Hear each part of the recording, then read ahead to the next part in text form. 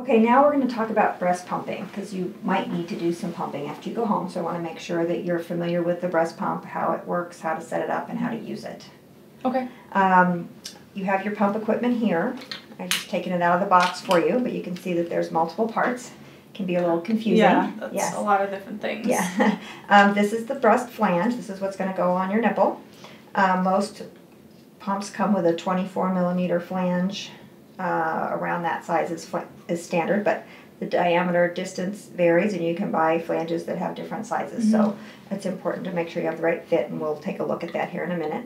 Pumps are going to usually have some sort of a valve mechanism. They might look slightly different in different brands, but they, they all have some sort of a valve to help draw with suction. They're going to have some sort of a collection device, usually a, a bottle, but some have bags. Um, so that's going to be the main component of the flange setup. And then that will connect usually through some sort of a tubing to your motor. Hmm. I'm going to let you try to set up the other. Oh, okay. The other side. Uh, so let's see if I remember. So this part is. Did, what did you say? This is a flange. Call it the flange. Okay. And that's the part that's going to go right up on your breast. Okay. Um. Let's see. I think. I think that one. Oh, okay, that goes here. Correct. Um, this was the part that does the pressure. Um, yeah, that goes. That fits here. Mm-hmm. Does it matter which way this That goes? doesn't matter Okay. the direction. What that matters is that it's able to form a tight seal. If Okay. this is bent or torn or, or something like that and it doesn't seal properly, it won't it won't Okay. cross section. And then, uh, let's see. Oh, in there.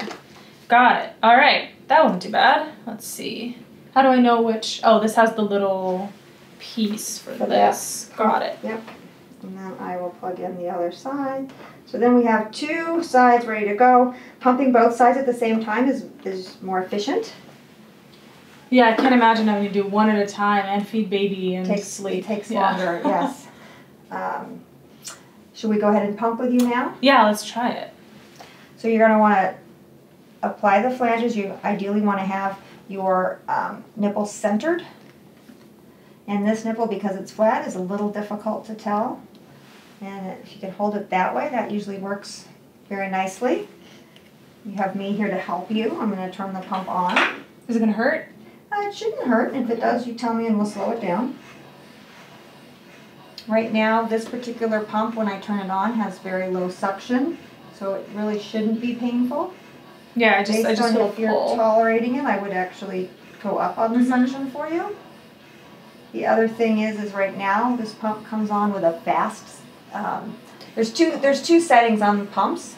There's usually the the cycling or the speed, how fast uh, the the nipple's being pulled, how many cycles per minute. Mm-hmm. Uh, and usually we start at a pretty high cycling frequency. And then after, and that's to induce letdown. That's how babies generally tend to eat, is really fast until the milk starts coming. Then we would slow down the speed for you. Mm-hmm. Yeah, I see there's a lot of milk coming out Mhm. already. And another thing about pumps is you generally do need to be sitting upright and lean forward. Because otherwise the milk. back. I haven't sat like this in a while. Yes, and you might need to swing your legs over. So that is a challenge. How do I get the pumping. milk to, to go down? Yes, that's a, yeah, that's challenging. So you might want to try to get yourself in a position with a pillow behind your back, comfortable chair, so you're feeling more comfortable. So I just sit like this? Yes, and the other thing you can do is you can use your hands here to do some uh, massaging and encourage more milk flow. We do know that massaging the breasts encourage let, let encourages letdown and helps Do I just massage like this? yeah, and if as you get more comfortable with the holding this the um, flanges, you'll figure out ways to move your hand, Mm. move your hand around. It may take you know one to two minutes for your letdown to happen, and then you'll have you know maybe five minutes of really active flow, and then another five minutes where you're still getting some production. And how do I take them off when I'm done? So you can either just take them off, or if they are drawing a strong suction and you feel uncomfortable, you can turn the pump off first. Mm-hmm. Go up a little bit on the suction here, as long as it's not hurting you, and you can see. No, it's not hurting. hmm So what we're noticing here is we're noticing that your nipple's moving freely in and out of the flange. We don't want the flange to be so small that your nipple gets compressed by the flange. Mm-hmm. Um, we also don't want it to be so large that it's pulling in a lot of your areola. Hmm. Is this is this the correct size? So that looks like a good fit. Um, again, with this nipple being more uh, protuberant and longer, you can see it easily moving in and out. Mhm. This nipple being flatter, it is a little more difficult to distinguish where the nipple ends and the areola Mhm. starts. But if that's not painful for you, I no, think that that not, looks like a good fit. painful.